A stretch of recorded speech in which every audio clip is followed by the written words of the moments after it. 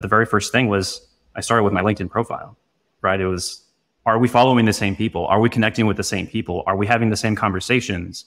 Treat your LinkedIn page like a landing page so that when people land on it, like they get an idea of who you are, what you do, and, and, what your purpose is. And, and that in and of itself can kind of like start that direction.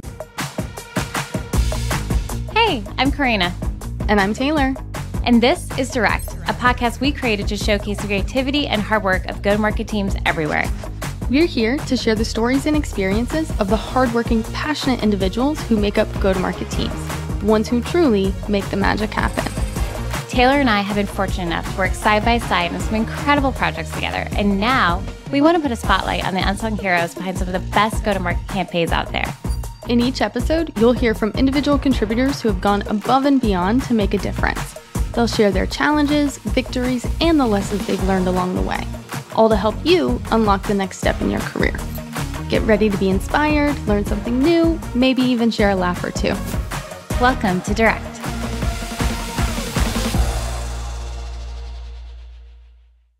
Hello, everybody. Welcome to Direct. Taylor, my love, how are you? I'm doing fantastic this Friday afternoon. We are thrilled to have here today with us Adam Buettner, who is the marketing manager at Webstacks. He also happens to be a podcast host and producer of ForwardSlash, and he happens to love penguins. Adam, welcome to Direct. Thank you so much. Happy to be here. Quite honored, actually, and, and really excited to I guess talk about me today. yes, that's the whole that's the whole purpose. And Taylor, we usually start off with a uh, one question. Would would you like to give it away and ask Adam our question? Absolutely. We're going to put you right on the spot, Adam. If you okay. had a magic wand that could do anything, it could change something about your role, whether that's podcast host or marketing manager or penguins or your life. If you could change something in your life, what would you use that magic wand for?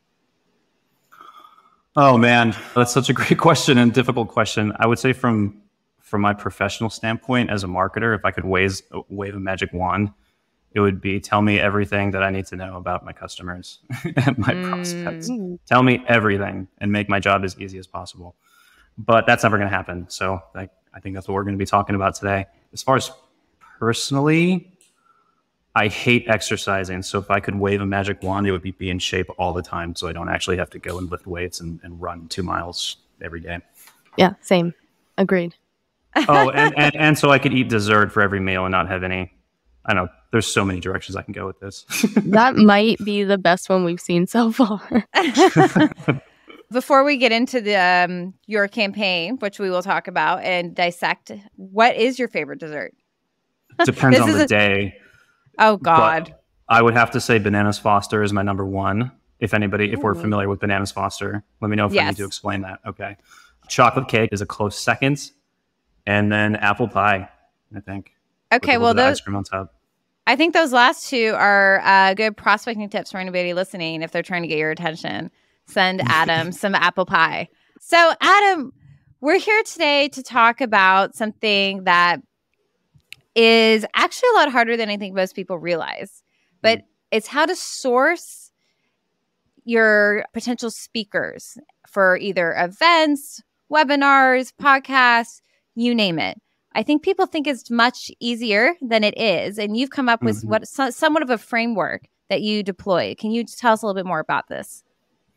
Yeah. So I guess a good place to start is is this podcast was the first time that I or anybody at my agency has has ever done you know podcast production before. It was always something that you know leadership, our agency owner or agency founders wanted to get into. They started their they founded their company during the pandemic, and you know they saw that everybody was flocking to LinkedIn and talking about you know whatever they wanted to talking about. We work in the marketing industry, so you know as we all know, people started to kind of shout from the LinkedIn rooftops about everything marketing. It was kind of where everybody wanted to congregate so they knew that they wanted to do that. It was just a matter of what and how, right? And that was kind of you know 2022 the start of 2022 was a weird year and and 2023 it was kind of like the forcing function we decided that we wanted to, to lean into podcasting so it was just kind of like put on my lap for the most part and yeah like there were a lot of other hard lessons learned in the production of this of this podcast, but outreach was definitely one of them. And I guess like the best place to start there is with our ICP. We wanted to build this podcast obviously for the people that we wanted to attract and they're CMOs and VPs of marketing and, and directors of marketing, people who know their shit when it comes to strategy, right? And when you're dealing with that kind of crew, you have to know what you're doing. You can't just use like basic outreach techniques. You have to, there's an element of respect that needs to be provided. You need to show that you care about their goals and that that your podcast can help them get there, creating a clear line of sight.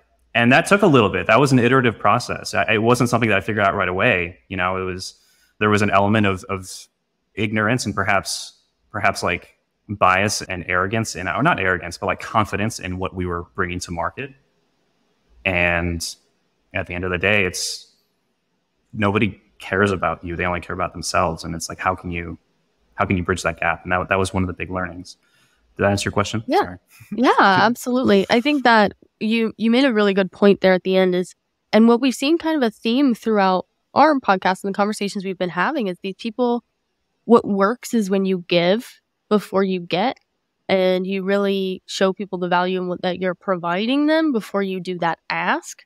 So I wanted to dig in a little bit more just right from the beginning your mm. your tactic, your strategy, your thought process around first of all finding these people that you want to have on the podcast because obviously there there are specifically into your ICP and also reaching out to them because these are, like you said, very busy people with a lot on their plate. It could be a lot of people reaching out to them as well if it's a big mm-hmm. name. So, how did you approach that at the very beginning? Yeah, great question. So at the at the beginning, it was a lot of lesson learning. It was a lot of throwing. What's the phrase? Like we're just throwing spaghetti against the wall or throwing something against the wall and seeing what sticks. Kind of the first lesson that I learned was that you know, again, these are CMOs and, and, and, and VPs of marketing. Like they want to know that you that you're talking about. They want to know that you know what you're talking about. They only want to show up if it's going to be either useful to them or their target audience. And part of that is showing them that you know what you're talking about, right? And that's the, the very first thing was I started with my LinkedIn profile, right? It was, are we following the same people? Are we connecting with the same people? Are we having the same conversations? And one of the one of the most powerful, I can't remember where I got this tactic. Honestly, Corrina, it might have been from you, but it was treat your LinkedIn page like a landing page so that when people land on it, like they get an idea of, of, of who you are, what you do, and, and, what your purpose is. And, and that in and of itself can kind of like start that direction. So, like, I didn't get into LinkedIn until the beginning of or middle of last year, really. So I, I didn't have any followers, right? This was just something I was very new to it. So that was a lesson in of itself. It's just like figuring out how LinkedIn works, right? And and there's definitely a lesson there where it's like it helps you keep a pulse on your ICP. And like I said, like our, our ICPs are marketing leadership and they take to LinkedIn and they talk about their problems and and you learn about the language and the words that they use. So that was part of it is just showing that I could have a conversation with them, I could hang with them and I understood their goals. But also it's just a little bit of like what's the word? Like uh, peacocking if you will. It's like i had to get my follower counts up. I had to this was a lesson that i learned it's like connecting with the right people. Because there were a lot of times where i would reach out to like a cmo at a very large company and i could see they would view my profile and they would never respond they would never get back to me and this would ha- this was happening a lot at the very beginning and i just kind of internalized that as okay i should probably start to you know like i said just kind of like show them that I am in this field also. So I started connecting, just like sending out connection requests, having small conversations with people. It wasn't much. It wasn't like even inviting them onto the podcast. It was just like, you know, I, you know, this is, I see that you posted about this. This was great. Can we connect? Let's just talk about this. And that took a while. That took like four or five months of just doing that. And along the way, like I would, you know, land podcast hosts like intermittently. Like there was an, there was a, a focused effort around that. But as this grew, like as I kind of educated myself and that was a whole nother thing about like go to market strategy. I had to elevate myself and and my knowledge. Then the acceptance requests started coming through. I could see like people would go to my profile and then they would get back to me like right away. It's like yeah let's do this let, let, let's hop on it. And then from there kind of the model i guess kind of rose to the surface where i think like the next big insight was which is pretty obvious and i'm, I'm curious if this is probably something i should have known anyways is people who speak at large conferences. Like, first of all, they don't mind being in front of a career, like in front of a large audience. They have a story to tell. They want to get it out.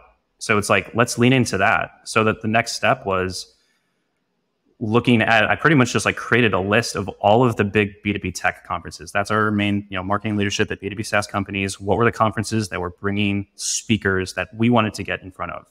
And all the more powerful if they had the same audience as we did, right? Because now we're now we're talking about like a, a, force multiplier effect, and it was almost an unlock. It was a cheat code. It was like I, I was getting a fifty percent return on requests, and we've got a pipeline that's pushing out until like September right now, where it's like I actually have to tell people that you know we have to we're a little bit busy right now. So long-winded answer, but there were a lot of lessons as far as outreach there. And hopefully that that was insightful. No, it certainly was. And I think it was the latter part. It was like a light bulb moment for you, right? Like, hey, mm-hmm. there's already lists curated out there. There that people have already done the hard work for me. I can just kind of scrub that and use that to my advantage. But the front end of what you were saying is also so important too, I think, because you realize that you had to see where, like, if you wanted to get Taylor on a podcast, you would want to look at Taylor's profile and see like who is Taylor interacting with, mm-hmm. who is who like, and then who is Taylor's the people that she interacts with, who are they interacting with, right? Like, where's the social watering holes of community just taking place online? Because of course, marketing and sales professionals are all over LinkedIn, and then you had to kind of put yourself out there a little bit and even start engaging. I'm imagining within those posts and not just in those direct conversations. So um, that's something I don't see people do enough of just in sales generally with prospecting or with even, you know, just go to market motions like yours with the podcast. So that definitely took some intentionality on your part and I think thoughtfulness on your part. And I think that's probably, even though it took, I think that's why it took time, I guess is what I'm saying, right? Like you had to play the long game to get to that authenticity, somebody that's going to want to, you know, open up an hour of their time to talk to you. But yeah, then you found the cheat code, which was, oh, here's all these other people who have been there, done that. I can mm-hmm. absolutely ask them to be on. They're gonna. It's gonna be like a walk in the park for them. Oh well, I, the only thing I was gonna add there was, and I don't know, maybe this is arrogant of me, but just like kind of looking back, it's like, duh, you know, you know, what are we what are we trained on? I guess like the past ten years, it's the MQL hamster wheel. It's the get a lead, send it over to sales it, let's move as quickly as possible and get this ROI as soon as possible. So what do you do? You send out a cold email or what have you, mm-hmm. and it's all about you. It's not about them. And it, it, was like we're always looking for like scalability and like how can we do this as quick as possible. Sometimes you can't scale. Sometimes it's not going to be scalable, and it's like, duh. Let me go onto their LinkedIn profile, find something they post about that's important to them, connect those dots, show them that it's going to help their goal, and then yeah, of course they're going to respond to that, right? It's it Mm-hmm. And I like I made that mistake initially. It was like, we're a podcast, we talk about this. You're cool, come on, join us. You know, and right. you know, it landed every now and then, but yeah, sure. It really started coming together when I when you started doing those unscalable things, if you will. Yeah, well, it sounds a lot like that give before you get kind of theme that we've been yeah. seeing so much of. And also, I wanted to touch on I think so many people are struggling with what you were talking about at the very beginning, which is in order to be in these spaces, you kind of have to present yourself in the same way as the people you're trying to get in touch with. And I think, Uh, you know, I've got friends who have just recently been like, oh, you have a podcast. That's so cool. How did you do that? And a lot of them are feel a lot of imposter syndrome before oh, yeah. to even ask to be in these places or even ask to think that they have a right to have this opinion. What would you say to people like that? And were you dealing with that? Oh my God, yes. So I think this was actually one of the questions, and sorry, we, we can edit this out, but one of the questions that you that you sent was what, what are some of the expected, uh, I guess, speed bumps? I was one of them. I myself was one of them, and it, it I have I suffer like I'm an introvert. I'm a very like I lean intro, introversion pretty heavily. I, I suffer from social anxiety. So this was, but at the same time, you know, like I, I have the ability to have these conversations, but that's still like there's a confidence aspect there. There is imposter syndrome. You just got to do it. There's no uh, formula. There's no tool that can help you. You just got to do it. You got to you got you got to put your reps in and educate. Right. I think at the end of the day, you just have to be curious. It, you know, speaking about for me and my, my own situation, there was a fear there, right? There was a fear that am I going to be able to create a product that our prospects enjoy, right? This is an experience. It's not just I'm bringing you on so that I can parrot you and, and on my social media. It's it, it, we're collaborating, right? This is a start of a conversation, and and we want there to be continued collaboration after this. And inherent to that is making sure that the experience for them is as nice as it is, so that they're not anxious, right? What can I do for them to make their experience as smooth as possible? So it all kind of just gets wrapped into this whole thing, where you know, just the more reps and the more you approach it from their perspective, it just it does make it a little bit easier, or at least provides that a little bit more clarity, if that makes sense.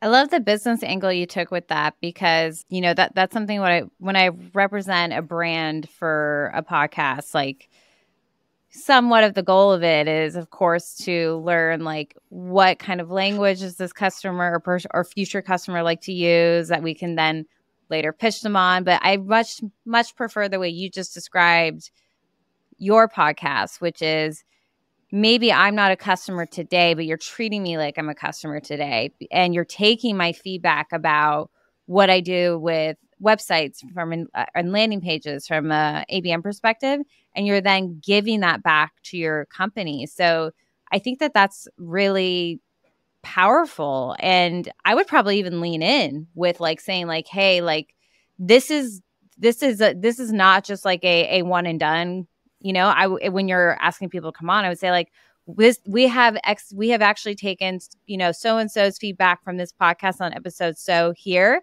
and now you can see it in this you know product landing page here right? We would mm-hmm. love for you to have the opportunity to impact and influence our product in the same way. I mean that's a pretty unique way to approach bridging the gap between just podcasts for awareness sake and you're actually using it to enhance like your company's roadmap which is really cool I'm curious what you think here, but I feel like that should be your first step into podcasting. That should be the foray, and then you expand from you know from there if you need to. But it's you it's a Trojan horse. I, I, like I've heard that before too. But like podcasting is a Trojan horse, and it's the perfect it's the perfect spearhead for ABM. And this was this was a, a more recent lesson that that we were. Sorry, did I say something funny? No, we're both ABMers. That's yeah, yeah, just right. laughing. We know. We're, We're nerding here. out. Yeah, yeah, yeah, yeah. yeah, no, it's all good. Yeah, I'm speaking to the choir here, but you, you know, this is it's a spearhead, and and like just like a, uh, like three weeks ago, I, I was on a call with one of our target accounts, and this is something where we realize like, okay, we're having we're starting to have some pretty cool conversations here. Like before, it was more like like okay, it's like the first phase, if I can break this down, was getting my confidence up making sure that I could I could ask the right questions and and and keep you know the guests interested. I'm like we're learning from each other. So that was the first phase, and then the second phase was honing in on. We know that we wanted the podcast to be about websites and how and the roles that they play in growth for B two B tech companies. So that was kind of the second phase. Was so now that I have my confidence up, how can we make sure that we're having the conversation that we want to? And then we started realizing that the degree of conversations that I was able to get into, like I was learning about the deepest insights about some of these. And, the, and these were like people who weren't our target accounts. Like this was just like, you know, like Corrina, like the, the conversation that we had was hugely insightful for our ICP. Like that microsites, talking about microsites, that's something that we are now exploring as a line item for our customers. Cool. So I love what you said about sure. around confidence. And I'd like to like hear a little bit more about how you built up that confidence originally because I it resonated so much and and Corrina has a lot to do with this in in, in my world personally.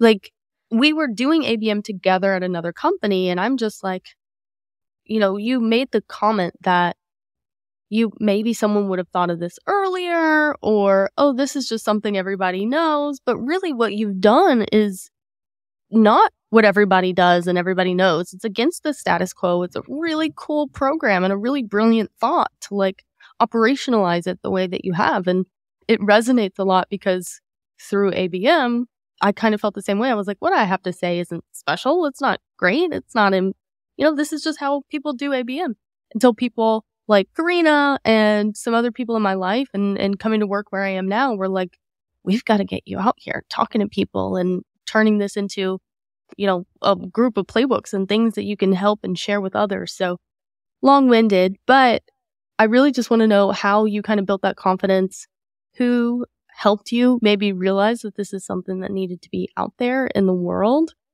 and just wrap it up if you can with like what you would suggest to other people in that spot. Yeah. Let's see. So I would say that's first of all, that's going to be it's not going to be easy. It's not an easy journey. And that that comes just from, you know, being in the industry for 10 years. I was in sales mm-hmm. before I was a marketer and it just failed a lot. and I was I was, you know, I was in a situation where I didn't and I, like I didn't want to ever be in, be in that situation again where I didn't have any money and you know, it was like th- th- that fear was part of it. But then in tandem with just being naturally curious and I think the most confidence comes from uh, truly, truly, truly understanding your customer and your ICP. And it's so easy to say. It's so, everybody says that. The question is how. And for me, it was getting on LinkedIn. And I'm lucky that I'm, that I am my own ICP. I'm selling to myself essentially. So that makes it a little bit easier. I'm not calling myself a CMO or a VP of marketing, but that is what I aspire to be. So I kind of use that as personal development and company development two different tracks here and they both mm-hmm. overlap beautifully, which is not always going to be the situation. So perhaps this is the easier situation for me, but it's education and it's just going through the reps. I, will tell like the first five episodes, I was in a fog. I was scared shitless. There was a lot of editing that had to happen over these first episodes. That's just the reality of it, right? It's iterative. You learn, you get better over time. It just starts with jumping in head first. And that's kind of what happened. Like my boss was like, "Hey, you're going to be the host." Got it. Cool. So if I were to, uh, I don't know, if I were if I were to distill it down, it's educate yourself. Find a way to learn about your customers. I know, like in some companies, like it's a walled off, you know, part of the go to market team. There's it's we can be territorial as marketers or uh, you know as as go to market teams, so it can be kind of hard. So if you have an avenue to understand and, and um, you know like keep a pulse on whether it's like just your podcast guest ICP or your company ICP. Hopefully the same, right? Every situation to be different. But it's know what their issues are, know their language, know what words they're using. And then when they hear that coming from you, then they're like, oh, this guy gets it, right? Let's have a conversation. Let's talk. And then that builds your confidence. I would say by like probably episode 10 is when it kind of started to click for me. And I was like, okay, cool. I can probably show up to this call without an outline, you know, without something because I did so much. It was like eight months of work, eight months of education that it took me before I was like confident enough to have a conversation with you, Corrina. Like that was maybe like month like seven or eight. And I was nervous for that call, but I kind of impressed myself that I was able to keep up also, if I'm being completely honest. Hmm. I would not have been able to have that conversation eight months ago. So it's just reps. It's just no, it's not easy, there. and I commend um, you for doing easy. that. I think I, you know, I've spoken to a lot of people about, and I appreciate both of your kind words, Taylor and Adam, that you've shared with me. People are always think that there's like these know all be all experts, right? But none of us are. There's always room to learn and grow. And I just tell people like like what you did, Adam, like take a topic and your topic is being obsessed with your customers. I mean, you've already proven that they're hiring caliber, high caliber talent by hiring somebody that's obsessed with the voice of the customer and somebody like you, Adam. So you became obsessed with learning about what your customers or your future customers were talking about. And over that time, you, of course, develop your own unique point of view about it too. So you do have something unique to say, right?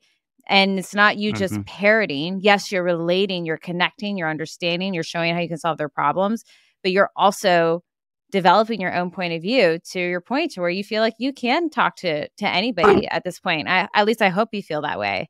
So yeah, absolutely. So I do. I appreciate that. Everything you. you okay, let's bring it back to the first question that Taylor asked you, which was if you had a magic wand, okay, and you said everything you wish you could know everything about your customers.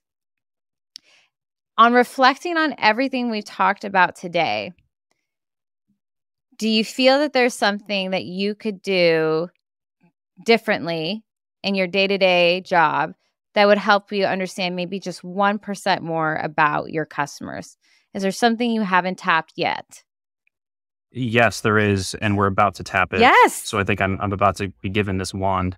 We're going to be we're going to be bringing customers onto the podcast, so I, I can pick their brain. And this is actually, I, am going off a tangent here, but uh, maybe it isn't. But so like one of the things, and this is just like a, a testament to how being cross functional is can be just hugely beneficial um, when it comes to go to market and just being intentional about however it is like learning g- getting insights from customer service and sales and one of the big insights from, from our customer service was that our customers were asking what's next and you know so like what do we do we build websites it's an ever evol- we take an iterative approach we bring agile marketing to it it's ever evolving so it's like if we have a customer that's bought into this idea that your website is a product and then they're coming to us and be like, what's next? That's a problem. Like that's an inherent problem, right?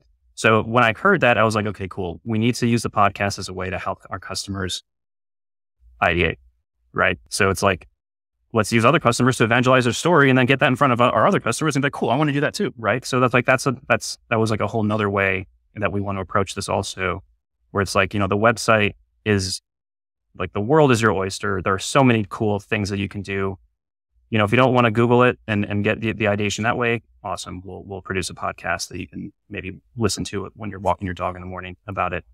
So that is, I'm really excited to finally have conversations with customers and really learn it, learn about that and like use it as a medium for brainstorming where it's like they come on and we just like talk about something like, cool, I want to do that now. And they go back to our, you know, their, their team that we have integrated in their organization and they do. That is such a cool so concept. and I, I mean, I could talk about that as a, a whole other podcast conversation because that is, I can't wait to hear what you get out of that. And I'm thinking of it just with like my ABM customers and the converse, the strategic conversations, ideation conversations that we have and how cool it would be to have them come on and be vulnerable about like, we don't know what to do next, but how can you help me? And being able to scale those conversations so other people can be inspired by it. That's just, that's such a cool concept, Adam. I'm excited for that.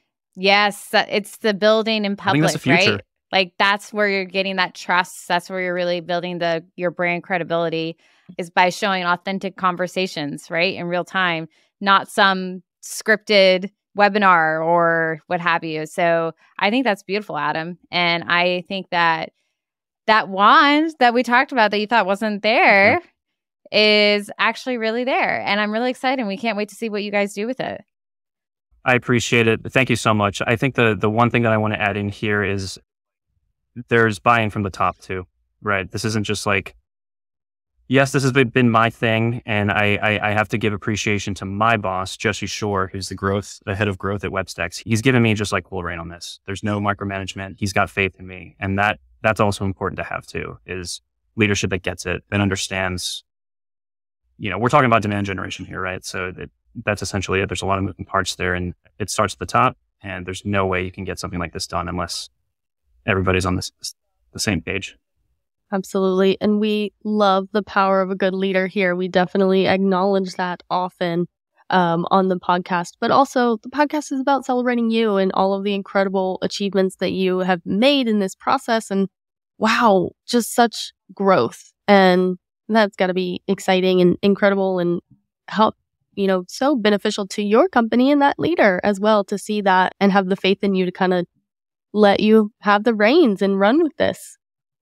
So true. Well, Adam, so Thank you so much. That. I'm sorry we didn't get to talk about penguins more. I think we'll have to pick that up at a later time. But we have had, you've been such a treat, and we hope you will be a lifelong friend of the podcast and the show. And uh, both of us, we look forward to continuing to follow you and everything you do. Thank you for this opportunity, guys. Thanks for listening to this episode of Direct with Corrina and Taylor.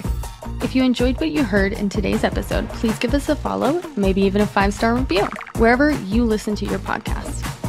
And if you know someone that you'd like to spotlight, if you want to share your own story, visit us at motionagency.io forward slash direct. We'd love to hear from you.